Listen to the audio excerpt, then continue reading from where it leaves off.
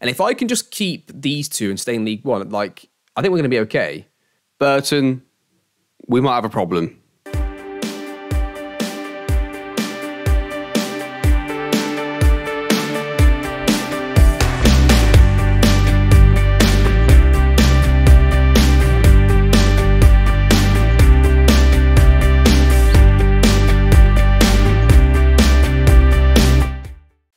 Everyone. Welcome back to Burton Albion England DNA. Right. So, yeah, it's been really good off camera. Almost too good, as we've mentioned before. As you've just seen at the end of the last episode, I talked about us potentially doing too well. Right. So, this episode, I wasn't sure exactly what to do apart from it just being a general like update episode. So, what I thought I would do is give you like a deep dive on the stats of what's happened so far in terms of the players, uh, the other teams that are in like the race for the title race for promotion with us, just so that we get a good idea of what statistically we need from the players for this tactic to work in League One. So we all have like reference point, right? So if we have like a youngster that comes in for a few games that attributes wise we think he's probably not quite ready, but statistically his dribbles per 90, open play, key passes per 90, that kind of stuff is quite close to the first team player. We're like, okay, well, maybe he's going to develop into that player. If he can perform at the same, you know, statistical level as the first team player, maybe he will be good enough. Who knows? So I think I'm going to start to use a bit of that, and it's going to be a little bit of a not intro because most of you that would have seen my content before would have watched my previous Moneyball save. But I'm going to be doing a new Moneyball save quite soon in the new year. That's going to be coming up quite soon. It's going to be a bit of bit like of a I wouldn't say intro or even a segue, but it's just like I'm using some concepts that I'll probably be using for that into this. And we'll use Data Hub a little more this year, I think, as well.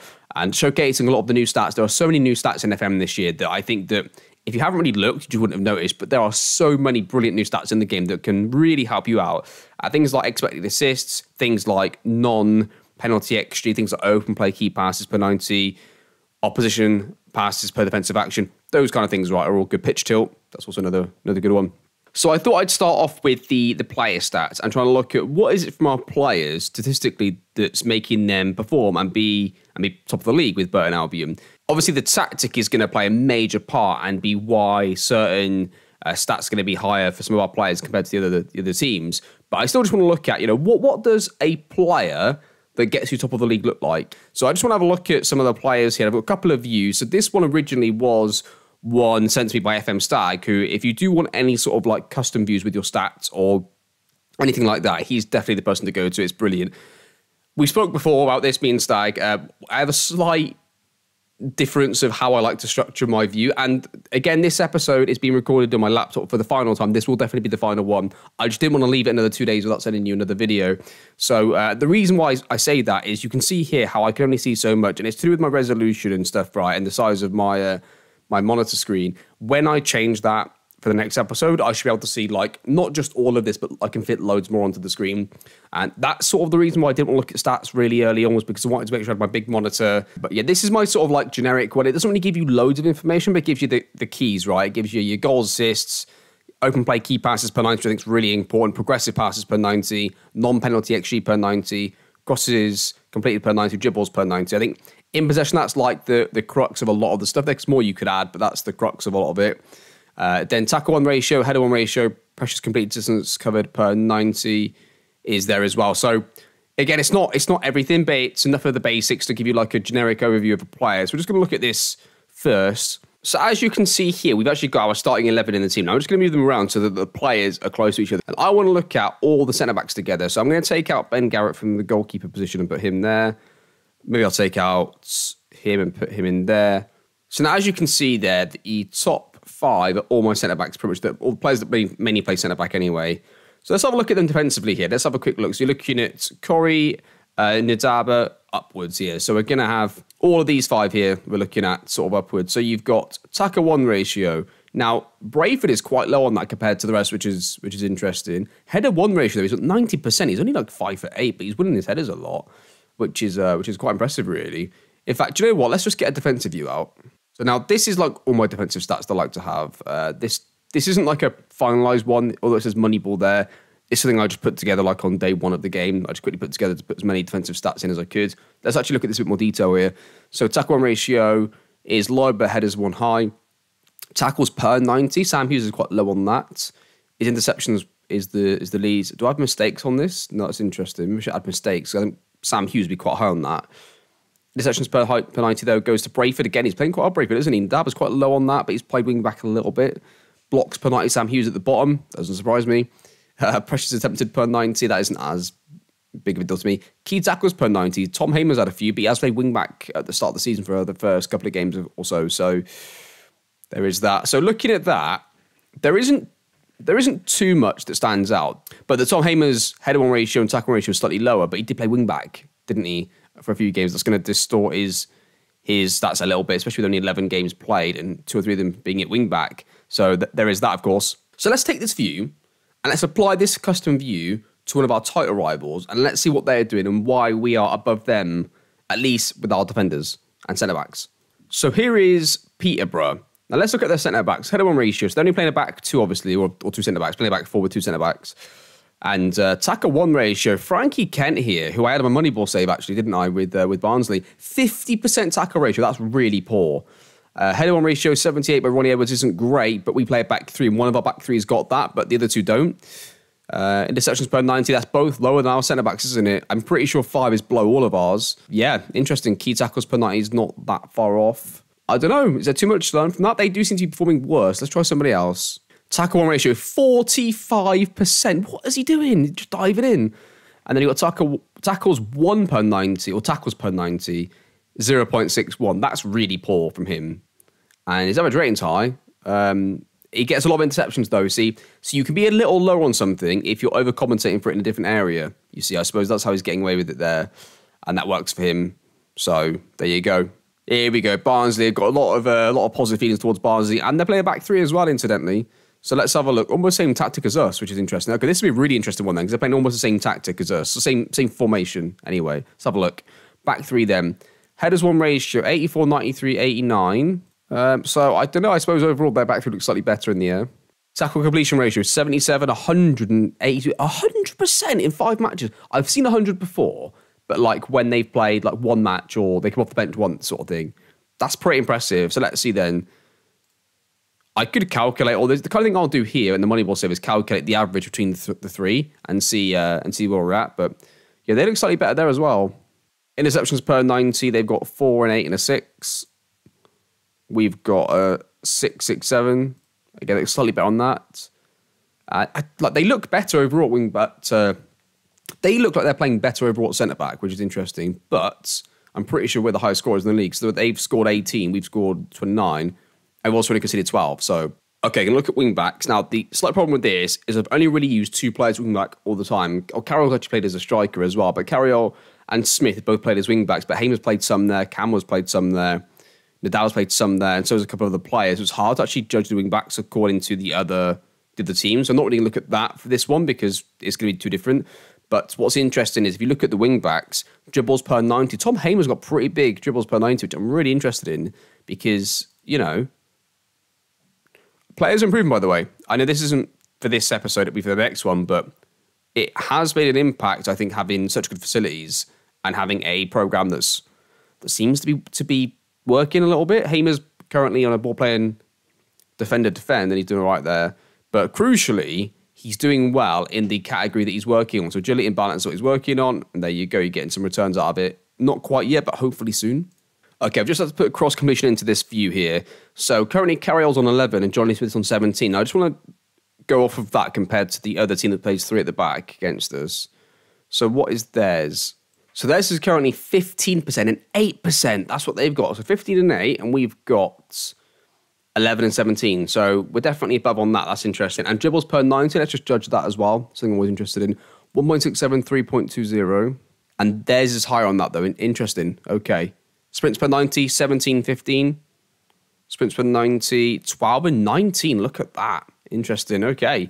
And Bobby Kamwa, to be fair, he's only played wing back, so he could be included in this. Let's him go number three. So he could be included in that. He's just not as good, but he does play wing back as well. Training was already trending back up, but everybody feels like they're improving now.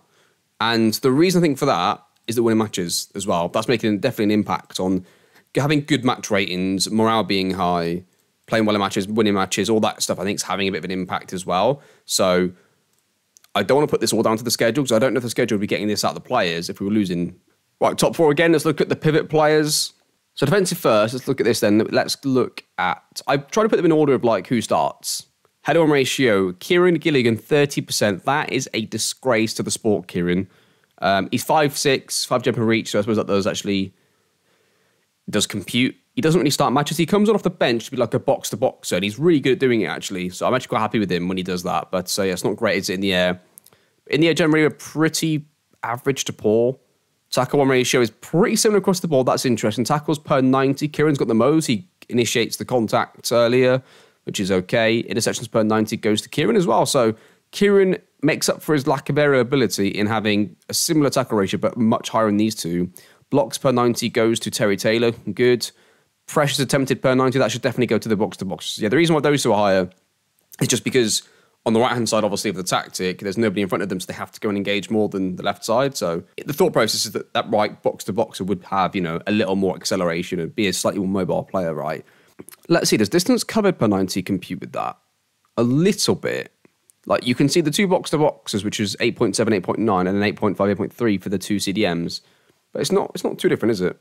Interesting. Let's move on to the uh, attacking midfield players.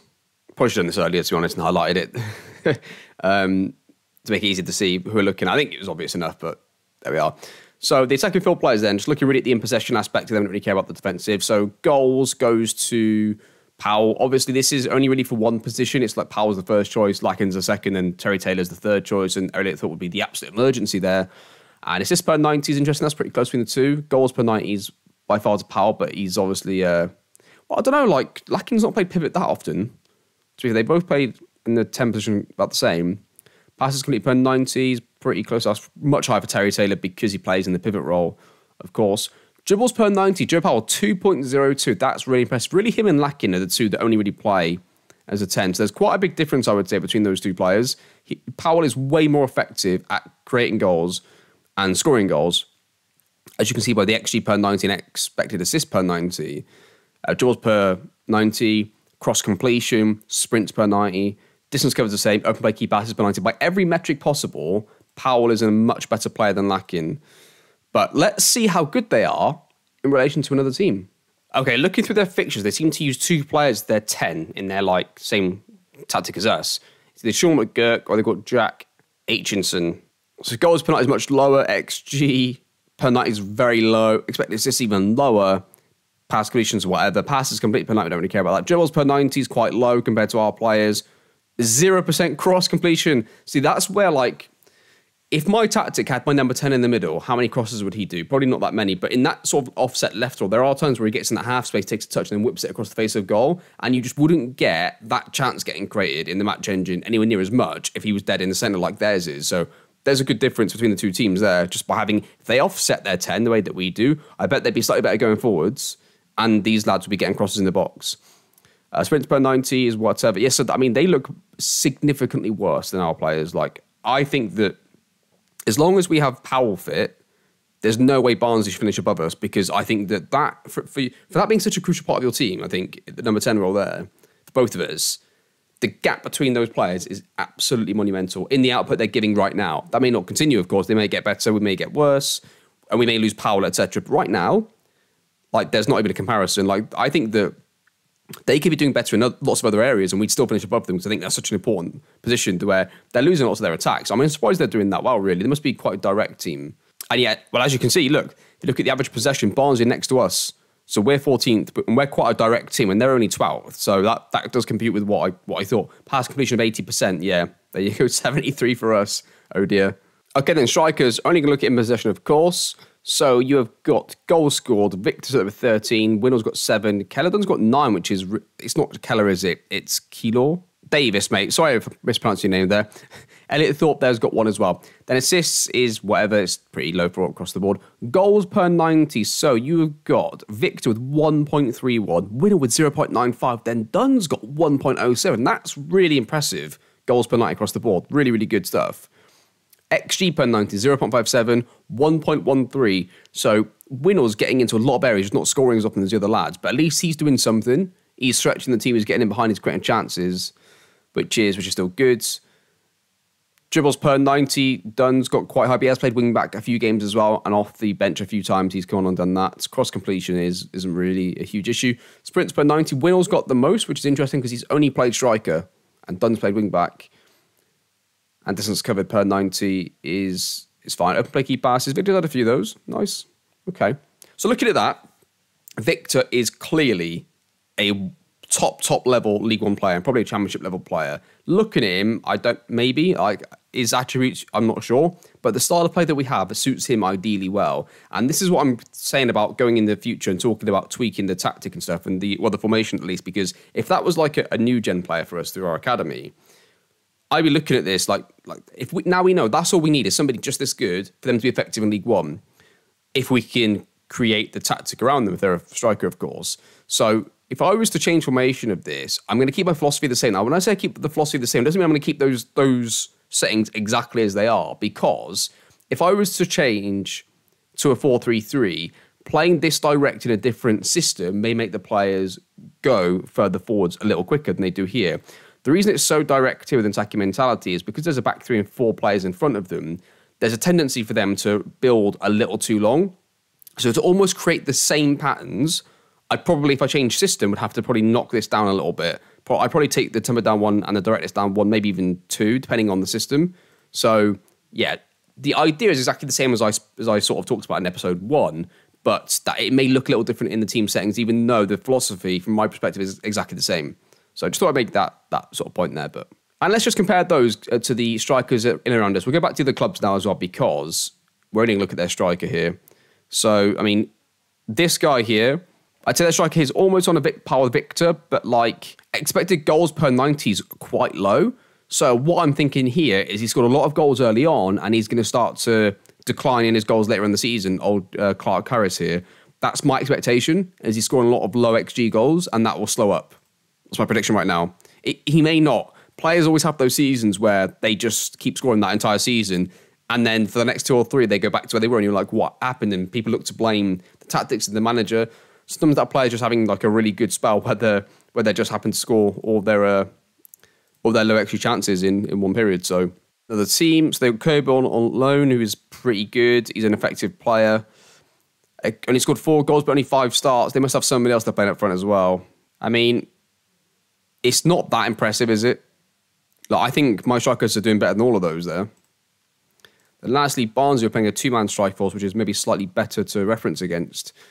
And looking at that, I mean, that's not even close, is it? Our strikers, I mean, oh, James Norwood's there as well, of course, who's a really good player. I still think that our strikers are massively outperforming their strikers there. And it, it depends whether it continues. If it continues, we've obviously got a massive advantage because our strikers are much uh, overperforming compared to that. But, well, not over, overperforming, because that indicates that they're performing above themselves. They may stay at that level the whole season for our players. We don't know yet.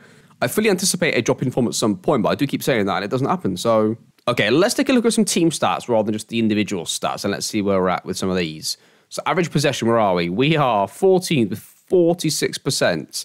And as you can see, Peterborough and Barnes are actually quite close to us. So, the first, second, and fourth place teams are all in this area here. Anybody below us is generally doing pretty bad, except for Cambridge, are fifth with 41%. That's pretty impressive, to be fair. Goals per game and goals is definitely for us. Expected goals over performance, that's interesting. So we're not actually that high on this. So we're getting the goals that we should be. So although we've scored a lot, because we're creating a lot, it's not that we've gotten lucky. We've got a few penalties, which, I mean, that does happen. So expected goals under performance. So yeah, we're about what we should be. But there's a lot of teams that are not performing very well at all on their, uh, on their expected goals.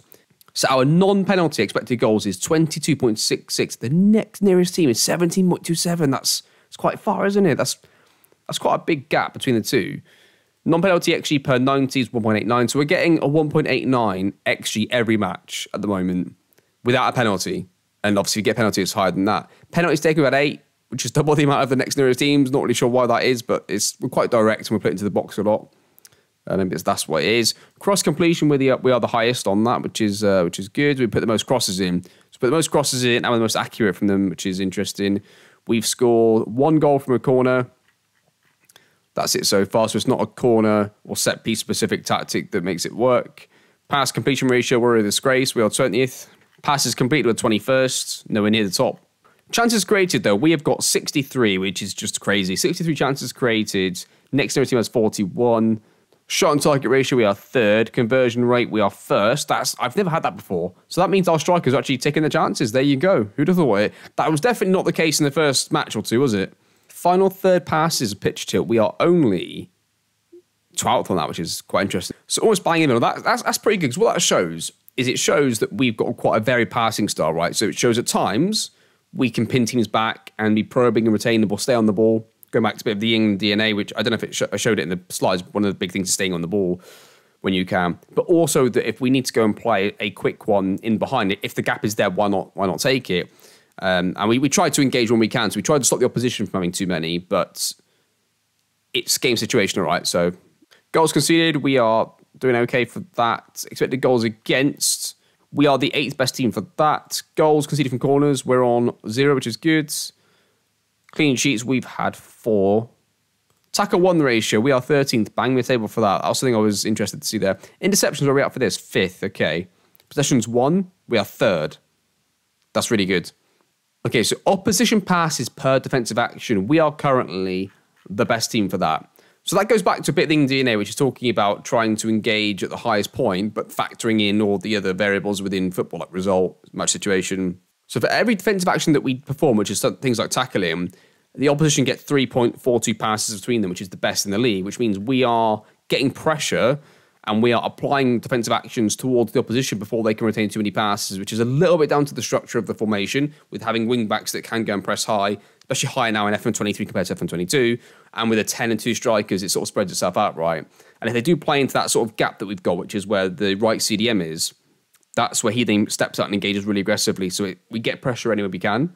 And final third passes against it, we don't really give up that many. So we don't, we're mid table for final third passes four, but we're one of the best again. So overall, we're in the we're in the positive. You know, if you look at that as a negative and positive column overall, column overall. Um, yeah, there you go. Finances are looking pretty good. Our projections to finish with well, not in the red, so it's always a positive. So a lot of this that we've got, I've moved it around a little bit for uh, for it to be in some sort of order, but a lot of this is going to tell us the same stuff we've just looked at. But one thing I want to look at was was this. It just says it to you in a, like an easier way here. So XG tables, our expected goals is 28 according to this. Expected goals against is 30.31, so actually one better off there. And expected points, we've got three more points than we should have gotten so far according to their calculations. That's, that's pretty good. That means we're performing pretty well, I would say. And to back that up, here's another little stat for you. This is why they have so good, right? Because now we can back that by looking at the uh, the shooting one here. So if you look at this graph here, we've got aggressive shooting, clinical shooting. So this is where you want to be really is in this one. So you're getting a lot of shots and you're being clinical, and that's what we are. So like here's like you're not getting many shots, but you're clinical when you take them. So that's Derby over here. And then this is the worst one. You don't want to be bottom left here because that would be mean you're not getting many shots and you're wasteful at them anyway. So there you are. So we are by far the best team in the league, and there's not anybody really close to us either, which is which is good. So this is the pass map from our last game against Forest Green. So what it's showing us here is we actually do build up our attacks on the left hand side a little more, which is where we go across the left centre back, left centre back into the left wing back, or at least we did in this game, and then that went into like the number ten. Not really many passes into the striker there, which is interesting, but a lot of right centre back to left CDM when the pivots pushed forward, forwards, the right pivots pushed forward. So that's that's interesting there. It's an interesting little graph to show us, which uh, yeah, be nice to see that over a longer period and keep track of that a little more. And just one final graph here. I looked through a few of these, wasn't really sure which ones I wanted to show you because I could show you all of them because they all have impact on what we've just spoke about a second ago. We'll finish on the crossing. As you can see here with this one, lots of cross and accurate crossing. So you want to be top right of this, ideally. Even if you're not a crossing team, um, you want to be on the right side because it's accurate here. So like you might, you want to be somewhere on the right hand side of this because this is inaccurate crossing on this side. So you want to be this side. And if you're a team that plays wing backs in FM, you're probably going to be crossing slightly more. So for us, that's really good. We're the highest, we're the most accurate crossing team with the most crosses. So there you go. The graphs all match up, which is which is nice. Right then, so today's actual episode in terms of matches, we're going to play Peterborough and Morecambe. So we're going to play currently the team that's second in the league because we're top, but they were first, and Morecambe who are 21st. Now, I've been tempted, not going to lie to you, I've been slightly tempted to start rotating some players and play some of the youngsters. I mean, I mean, I don't mean youngsters, but like Nadaba's not going to be here next year, right? And we're top of the league, and getting promoted is as much of a blessing as it is a curse. So why not play the players that are going to be in next year anyway? One to improve them, and you know, two to keep them happier. So I I've decided to sort of like start to go down that road a little bit. I like I'm not trying to throw the games. I'm just going to try and be more uh, pragmatic about the player development aspect to this. So Ndaba's going to probably going to get dropped from the starting eleven at this point, and we're going to start to play like um, probably get some minutes, and Carroll is going to come out the team as well. Probably play Kamwa. I want to try and get somebody else wing back because I don't think he's really good enough, especially not for the championship. And I don't really know if there's anybody else. Maybe Dunn could do it, but I need him for the striker role, really. So, yeah, maybe maybe I do play him though because then at least it would leave me Elliot Thorpe from the bench. And although I know he's not going to be next year, it would only be to like come off the bench, do bits and pieces roles. I think for this one, I'm going to play Keillor-Dunn at wing back. Maybe we can play Kamwa there then in the next one. We'll try that. Well, that'll be our team. Terry Taylor's a bit tired, but apart from that, that's me a team there. Hopefully, we can get on and do all right in this game. Be interesting to see. And again, who knows what's going to happen? We could end up going up here, and oh, I don't know what's going to happen with that. I'll, let's get into the game against Peterborough, see what happens. Assistant manager says, media comments. They are going to apply a 4 3 3 single pivot. Interesting. To be fair, we did know that because I just looked at their squad. I mean, if we were to win this game, we're going to get promoted, aren't we? Because this is the hardest game we've got all season. It's Peterborough away, who are by far the best side early in the season. If we can drop points away to them now, um, yeah, there we go. There's a chance. Oh, oh, Christ, he's misjudged it, Poku. What are you doing? Hamer's got it. He's going to travel with it. Keillor-Dunn's now got it. He's going to whack it into the back post. Winnall scores 1 0 to Burton Albion. And I don't know what I think about this. It's 1 0 to Burton, though. Again, accurate crossing. We're an accurate crossing team. We looked at the stats. Hamer plays a great ball into Keillor-Dunn, who's playing out of position completely, doesn't even play me back at all, according to his tactics page, and hits 1 0 to Burton. And Winnall again. So if we look at Winnall's tactical or player profile, rather, he's not amazing in the air, 11 jumping reach. And so that means when ball's coming long from a goal kick, he's probably not going to beat the centre backs in the air, but he's good enough at accurate heading and he's got good enough movement anticipations 14 to get on the end of crosses right. So he can do other business in League One. Can he do other business in the Championship? I'm going to guess it's a no, but I think we're going to find out the answers to that because I think we're going up. Highlight up for the highlight up for half time here. Taylor's got it, plays to Oshilaja, who takes a few touches, whacks it into Big Victor, and it's been cleared away. Smith gets it. Smith's going to take a terrible touch, gives it away. We're going to initiate a counter press here. No, we're not. We're going to just let them play it, but we get it back anyway. Winnall, if he's not offside, that's an unbelievable decision from the referee. And Victor then he scores a header. It's going to be cleared away, and that's going to probably be half time. It is half time. We'll say things are going well, but no, you're.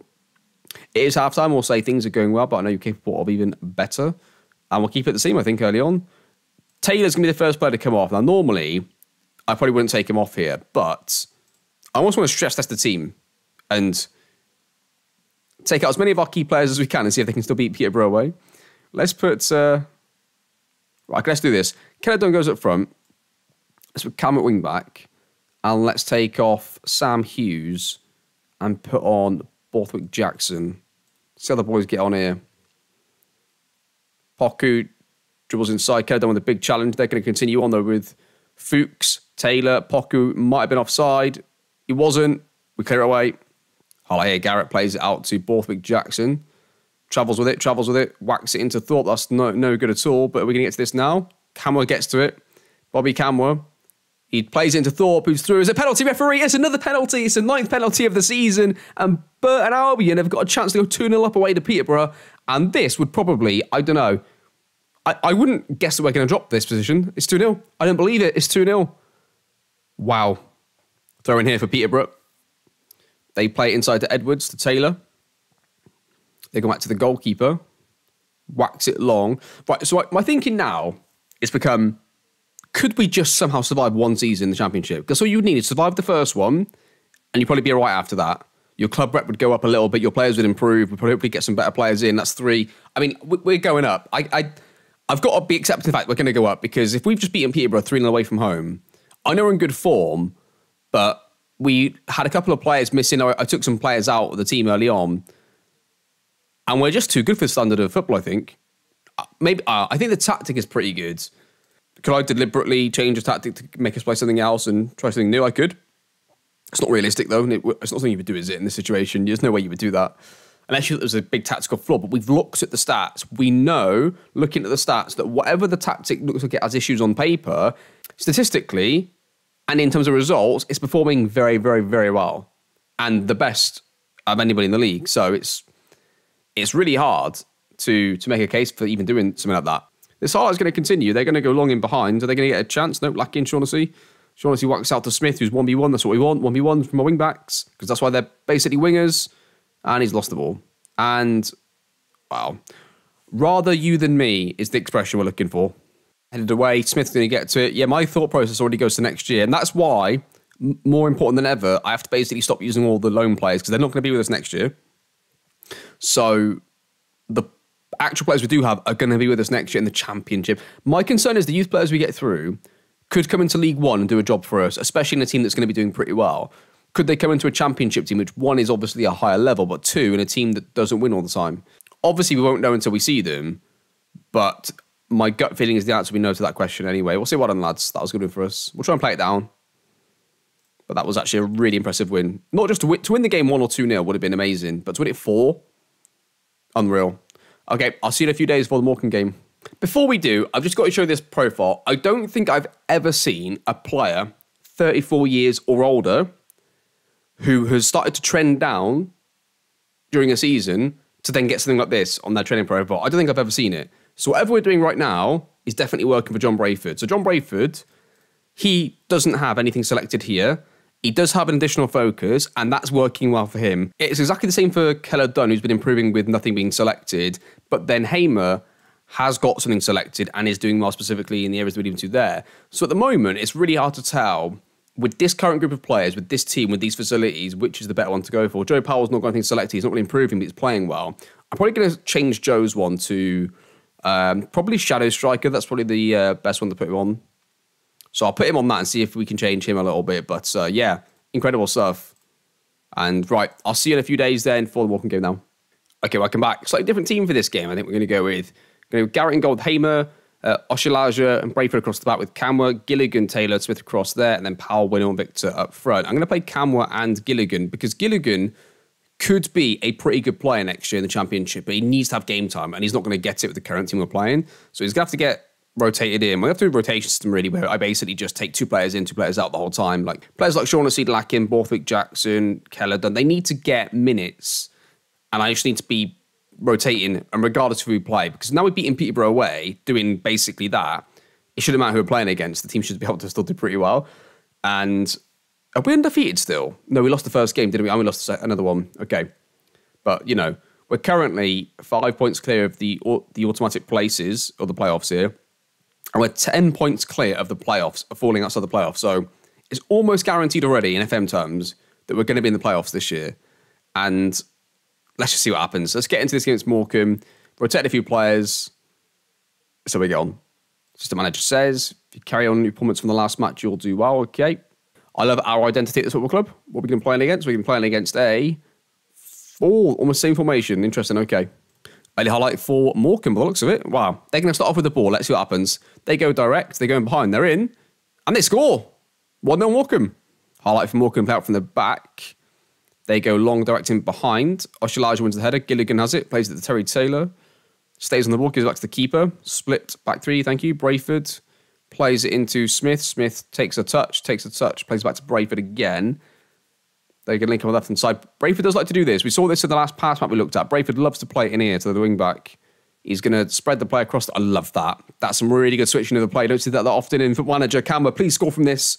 Oh, it's brilliant. That is an absolutely brilliant goal from Burton Albion. So we're playing on attacking mentality, we're playing on higher tempo, we're playing more direct, but it's because of the of the formation. You can see how even with all those settings, because of the way the players are positioned, they're going to have to still be careful about who they play it to, and that's why it's slightly more direct because you can still get. It's still a tactic that can build from the back. You know, it doesn't mean they're just going to do that all the time. It still they still can build from the back. We're still a I'd call us a mixed passing team. We're not really a ball retaining team or a direct team. I'd say we're still quite mixed. And the reason the settings are like it is because of the way that the formation is set up and the way that the players will make their decisions.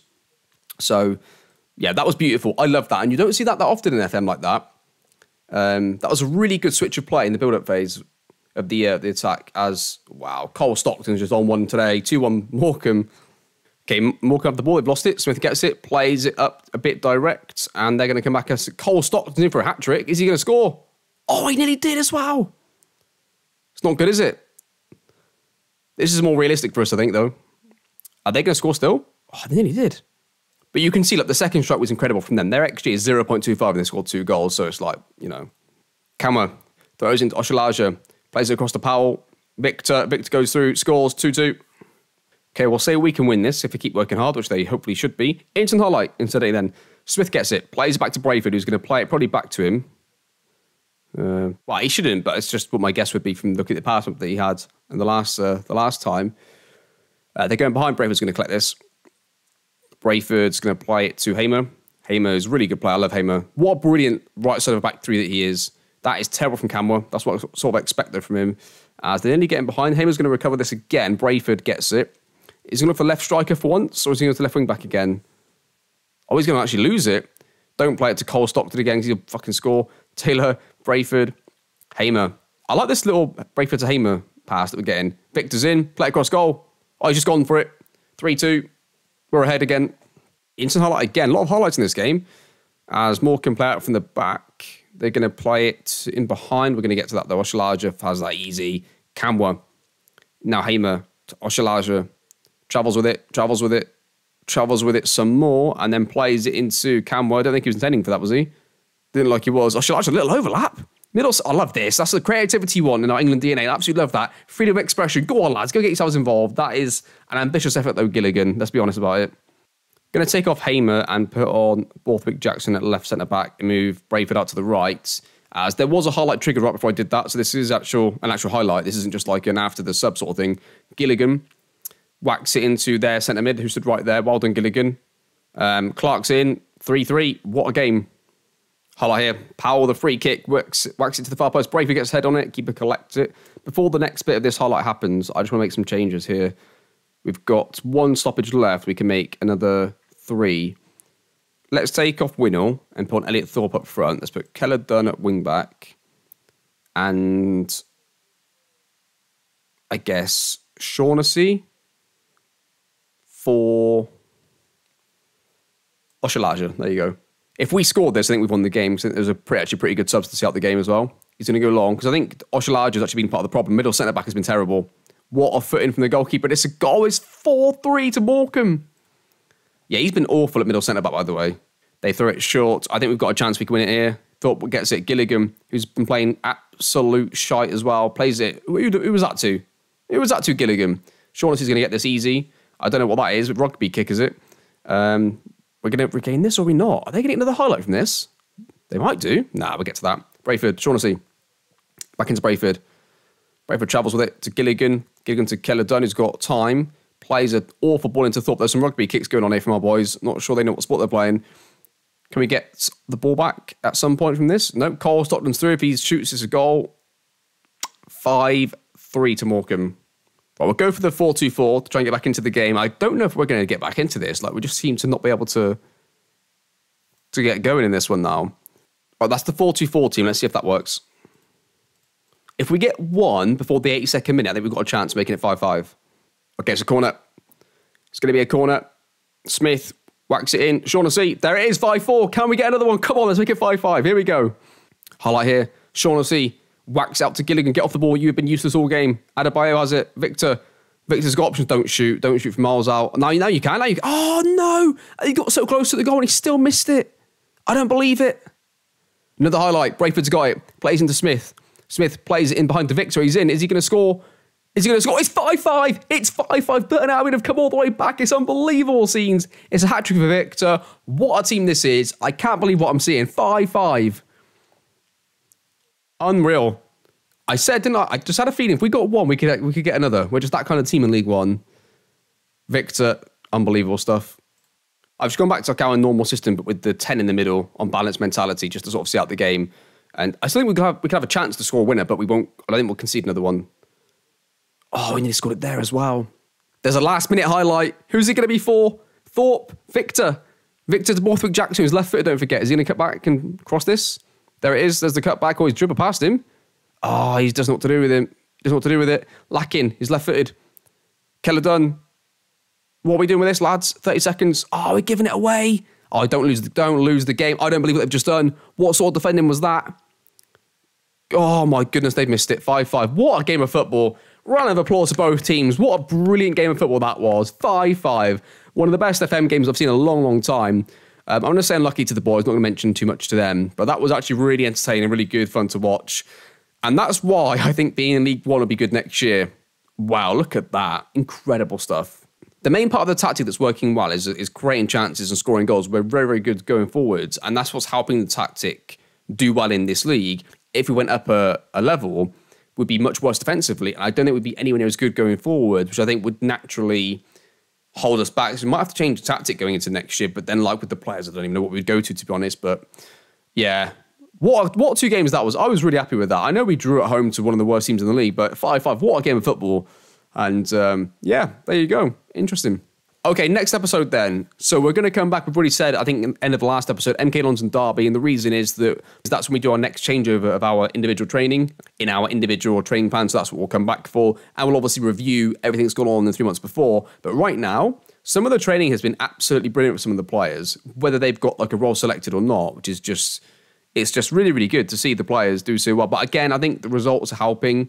Let's see what happens next season if we're in the championship and we're not winning and we're doing pretty much the same thing. But we're going to have our season long training plan for next season, aren't we? So that'll be that as well.